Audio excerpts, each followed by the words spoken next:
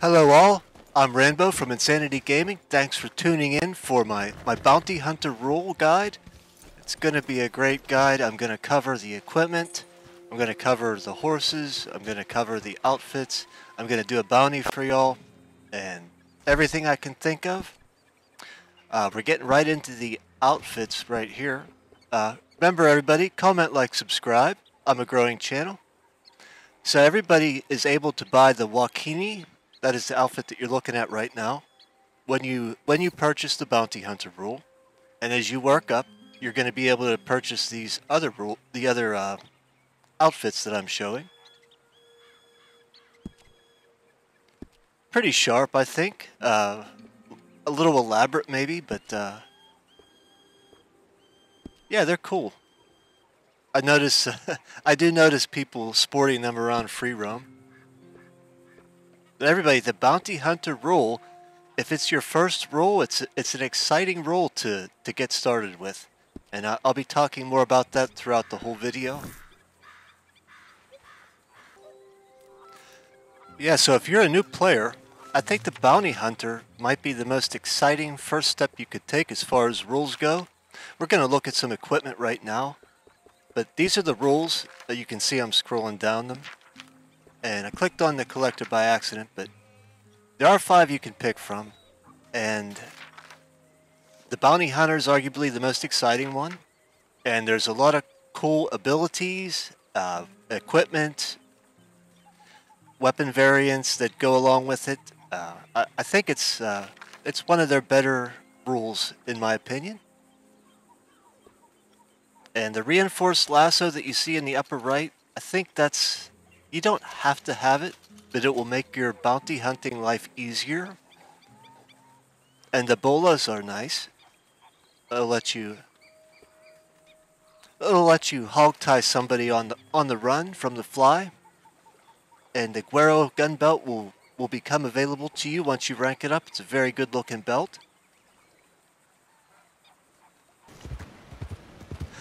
I'm in Strawberry right now, everybody. There's a bounty board up here by the jail. You'll find bounty boards across the whole map.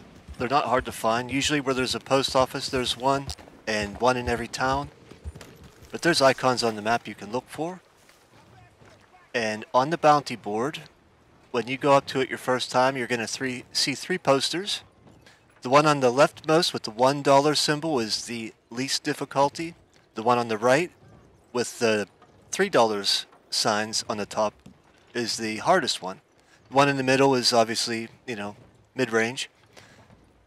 But the the one on the right, the, the most difficult one, you can cycle through usually. See how I'm cycling through the... There's four, you can either pick up four people or one person. And there's also legendary bounties. I'm scrolling through them right now. They're a lot of fun. A lot of fun, everybody. The legendary bounties. But we're going to go with the easy guy, and I'm going to bring him in and show you what that looks like. Okay, so we've taken our first bounty with our new bounty hunter role, and we've come to the first site where we need to get somebody. Remember that turning them in alive is going to pay you more, so keep that in mind. And you're going to get a skill as you progress that's going to allow your eagle eye to make the bounty target glow uh, a different color. So you'll be able to pick them out from the crowd and not have to worry so much about taking out the wrong person. Yeah, that's that's what I used uh, to find him. And you'll see, I, I, take some people out, I hog tie them, I, I take the rest of the people out, and uh, just search the camp and loot all the bodies. Yeah, beginning players, there's tons of stuff to loot from these areas. Like this, this area here had three lock boxes and a chest, something like that. Plus, uh, I got a bunch of stuff from looting the bodies. So I'd, I'd check that out. Might get some things to sell to the fence. Yeah, after you've taken care of business and you you have your man or woman hog-tied, call up your tr trusty horse, throw him on the back, and make your way to the wherever it tells you to go, whether it's a wagon or a city. Just keep your eye. Some sometimes in the bottom right corner it'll give you a cue to hit the person. If you don't do it, they'll jump off and you'll have to capture them again. Alright, so we've got our first bounty. And we're at the prison. Jail. Notice the timer at the top. The the longer you take, the better your pay is going to be.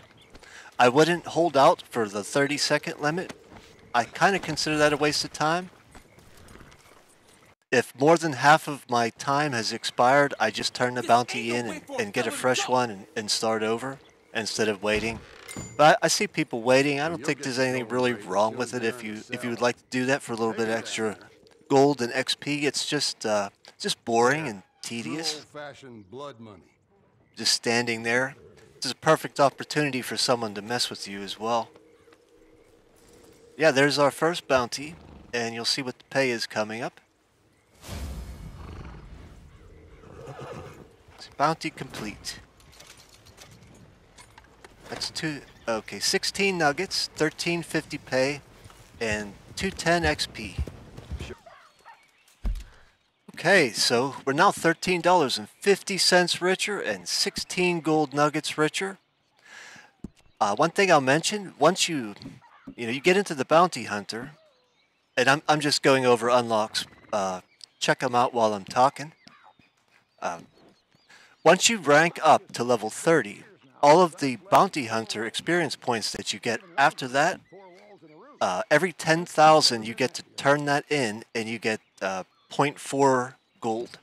So that's not bad. I've, I've done that myself probably three or four times over. And it's, uh, it's nice because, I mean, I have all my stuff ranked up, but I still like doing bounties. And it's nice that I'm getting something out of it other than just the enjoyment of playing the game But along with this role, you get a lot of abilities. You get the duck ability for your horse. Um, it's great for PvP. When you're riding on your horse, you, you can duck down and, and avoid shots. There are two gun variants. There's a Schofield and a LeMat variant. Um, not cheap, but they're both good looking. There's a bounty wagon that's going to be available to you, and in the Advanced Bounty Hunter, you'll be able to get skins for that wagon. Set of gloves, the Guero holsters. There's a new haircut, the bolas. The Breton horse. The Breton horse isn't a bad horse at all. I have the, I have a really nice one. I don't know how the lower rank ones perform, but I'm sure it's a fine horse. And you get the eye patch. That's something a lot of people like. One for level 30. We're going to see that soon. Yeah, uh, once you become advanced, you can buy some really expensive fancy bolas, a nice gun belt, spurs, new eye patch, uh, a new saddle. It's a good saddle, but you can't use the collector saddlebag for the seven uniforms.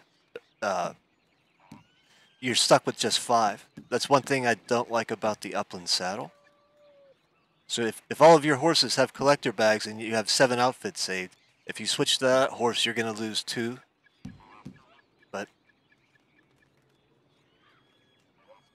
yeah, you get buckles, gun variants. Uh, the gun spins, I think, are pretty cool just to mess around. There's a lot to the body, the bounty hunter rule, and uh, it's kind of why I'm doing this video. I think it's the, I think it's the best first rule for a new player. It's excitement, there's experience points you can make, gold you can make, money you can make. Um, yeah, lots of cool stuff. Okay, everybody. This is my video on the bounty hunter rule And I hope I hope you liked it. I hope you got something out of it. I hope it helps you out. If there's anything that I didn't uh, explain clear enough, just leave it in the comments and I, I will respond. Like I said before, I do think this is the most the the role that you can have the most fun with to start out, and I would recommend it.